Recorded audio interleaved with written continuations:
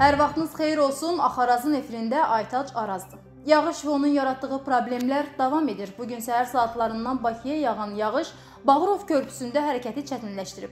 Məsələ ilə bağlı Bakı şəhər icra hakimiyyətindən də münasibət bildirilib. Qeyd olunur ki, səhər saatlarından etibarən aidiyyəti qurumların birgə əlaqəli fəaliyyəti nəticəsində Heydər Əliyev prospektində yerləşən Bağırov körpüsündə su basma təhlükəsi aradan qaldırılıb. Körpüyə aid su nasosları adi rejimdə işləyir. Bura əlavə texnika və işçi qüvvəsi cəlb edilib. Paytaxtda riskli ərazilərdə yerləşən digər körpü və keçidlər də nəzarətdə saxlanılır.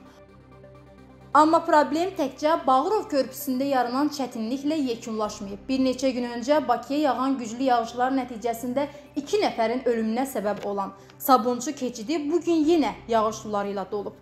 Bu barədə Telegram kanallarında görüntülər paylaşılıb. Yağış suları səbəbindən Sabunçu keçidinə giriş bağlanıb.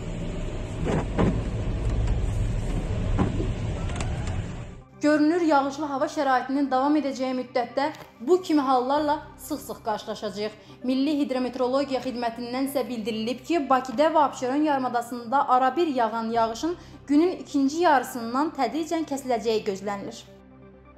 Hazırda Bakıda Abşeron yarımadasında yağış yağır. Yarımadanın bəzi yerlərində qısa müddətli leysan xarakterlidir. Yağışın gün ikinci yarısında tədricən kəsiləcəyi gözlənilir. Havanın temperaturu 12-14 dərəcə istidir.